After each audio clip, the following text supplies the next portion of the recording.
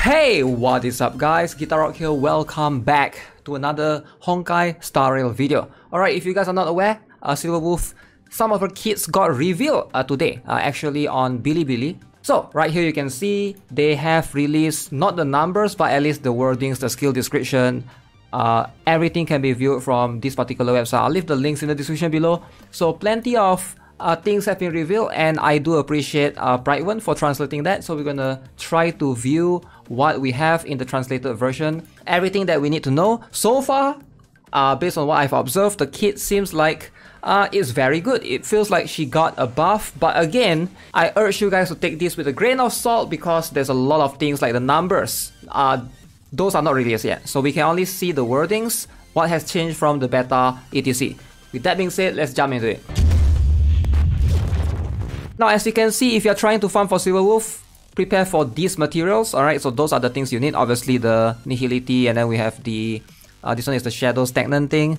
And the machine parts, right, from Belobog. Okay, and then uh, we have her normal skill right here. Uh, apparently, the normal skill stays the same. Uh, we have her skill that applies this bug, and we have her ultimate skill, alright? Very, very cool. And also, uh, this particular one, and the technique, right? Talent techniques, etc, etc. Okay, Let's check it out. So apparently, uh, the new kit and the final beta kit, uh, you can check her skills during the trial back then.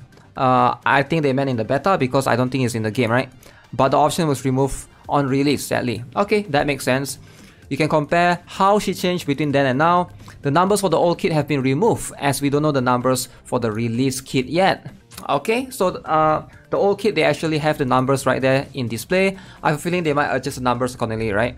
The comparison will focus on the word of uh, wording. Okay, so let's have a look at the traces. Very, very important. So what do we need to take note of for the traces, right? So uh, Bug's duration is extended for X number of turns. Every time an enemy is inflicted with weakness break, Silver Wolf has a X percent of base chance of implanting a random bug in the enemy. Okay, this is very interesting. Uh, when you apply weakness break, Silverwolf has a X percent base chance of implanting a random bug. So depending on how this is, if this is at least 50%, I would say uh, she's going to be quite decent right there. Alright, a little bit of a gacha uh, character, but still, Bug's duration is extended, uh, not sure how many turns that is. So uh, duration of the weakness implanted by Silverwolf's skill increases by X number of turns. If it can last more than 2 to 3 turns, that would be ideal, alright? Also, it depends on how fast is she as well, right? So that's going to... I think the faster she is, if she has very high speed, and she can move often, that means she can implant the bug more often. So I think that makes a lot of sense, right? If the enemy has X or more debuffs when skill is used, the enemy's uh, all type damage resistance decreases by an extra X percent. Okay, now this one is cool. This one is cool for sure. Uh, if they have certain amount of debuffs when skill is used, so that means all type of damage resistance. So this includes like uh, physical, fire, uh, wind, everything, right? Is decreased by an extra percent. Although we don't know how many debuffs the enemy needs to have. If they need to have three debuffs, that means you need to include like DOT and stuff. Uh, that means Silver Wolf is going to be quite hard if she doesn't fit into a DOT team whatsoever. So the basic, there's no changes. Uh, skill is, I think, this particular one. Alright, so that she's going to drop that thing on the enemy. So before, this is during beta. So she does quantum damage equal to percent of Silver Wolf's attack to a single target enemy. So with a percent base chance to inflict the target with one weakness of the same type, as a random allies attack type for 3 turns. Okay, so remember, 3 turns, that's quite long actually. Reduces the enemy's damage resistance to that attack type by X percent. So that means you can buff if you have a quantum type and the enemy's damage resistance uh, to quantum is reduced. So that means you're going to get a huge significant buff overall, right? Somewhat. In addition, there's an X percent base chance to reduce the damage resistance of the enemy by X percent for X number of turns.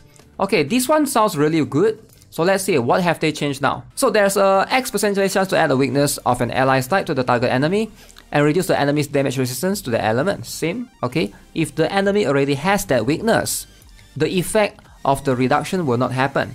Makes sense. So if the enemy is already weak to quantum, you can't apply this to further increase that. Each enemy can only have one weakness implanted by Silverwolf. Okay, makes a lot of sense. You can't apply more than two. When Silverwolf implants another weakness on the target, only the most recently implanted one will be capped. So that means if you apply a wind weakness before, and then now during your turn, you apply one more ice weakness, so the wind one will disappear, will be replaced by an ice one. That means uh, you, can, you can only apply one, and the most recent one will be kept, the, the old one will be discarded, in a way.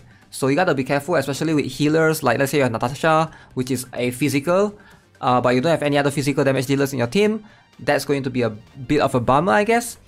In addition, there is a high percent chance to additionally reduce all type resistance of the enemy by X percent for a certain amount of turns. This one sounds really strong, alright? If you can reduce, uh, you know, all type resistance, that means even if it's 20%, it helps a lot because I do think this helps more than you boosting your own attack per se. Definitely, because a lot of the enemies, especially in MOC later on, they have high damage resistance, right? Deals quantum damage equal to X percent of Silverwolf's attack to this enemy. Okay, apparently the biggest change to this is the order of how the actions within the skill work. Okay, so before this, Silverwolf first do the damage and only applies all of her effects. Now it's the opposite. This means her own damage will benefit from all the debuffs she applied. Oh, okay, okay. So it applies it in this order. It will do this first, and then it will do this, and then it will do this, and then it will do this. Is that how it works? Huh, interesting. I never knew that's how it works. Uh, that it follows the order. So right here you can see in the beta version, she does quantum damage first. But right now she does quantum damage last. So she will apply the debuffs first. So that's a good buff I think. Uh, that means she will be able to benefit from her own debuff ideally. Now ultimate skill, there's a X percent base chance to decrease the enemy. Now before, there's a percentage base chance to decrease the enemy's target's defense by a certain amount for 3 turns. Okay, at the same time, deals percentage of Silverwolf's attack as quantum damage to the target enemy. So right now they have changed. Uh, there's a high base chance to decrease the target enemy's defense by X percent. So instead of a certain base chance, they change it to high. Seems like the same wording, they just changed this this particular one from a certain percent to a higher base chance. So they're not going to reveal the numbers even. Huh. Makes sense? So let's have a look at the talent. Silverwolf create three types of bugs, reduce attack by certain percent, reduce defense by certain percent, and reduce speed. Every time Silverwolf attacks, she has a percentage base chance to implant a random bug that lasts for a number of turns in the enemy target. Uh, this one looks the same, right? No changes there. Technique immediately attacks the enemy, dealing quantum damage to all targets. After entering battle, reduces toughness from all enemies, ignoring their weakness. Enemies with their weakness broken in this way will trigger the quantum weakness break effect. So you do quantum damage to all the targets, which makes a lot of sense. And also it reduces toughness from all enemies, ignoring their weakness. Okay, so if you can uh, weakness break the enemy, you will be able to trigger the quantum weakness break effect. But if you can't, then you won't be able to apply this. But uh, reducing toughness, I guess, helps a lot, right? Definitely uh, very good technique overall, I would say. So yeah, overall, I think this pretty much sums it up. Uh, let me know what you guys think overall. I have a feeling we still have to look at the numbers because the percent amount of chance of how she can apply the bug, that one can be readjusted, alright? Whether it's 50%, 60%, 80%, 90%, I doubt it will be 100%, and even if it's 100%, it's still going to be quite hard because you still need some effect uh, hit rate to be able to apply it consistently, especially in the MOC, in the higher floors, higher stages, enemies have very high uh, effect resistance. So that's something that you have to keep in mind. So you need a lot, a lot of effect hit rate to build her successfully. So that's something that, uh, you know, I guess I'll, I'll give her a shot, try to pull for her, see if I can get her. So yeah, that's gonna be it for this video guys. Don't forget to subscribe, give this video a like, and I'll see you guys in the next one. Have a nice day. Goodbye.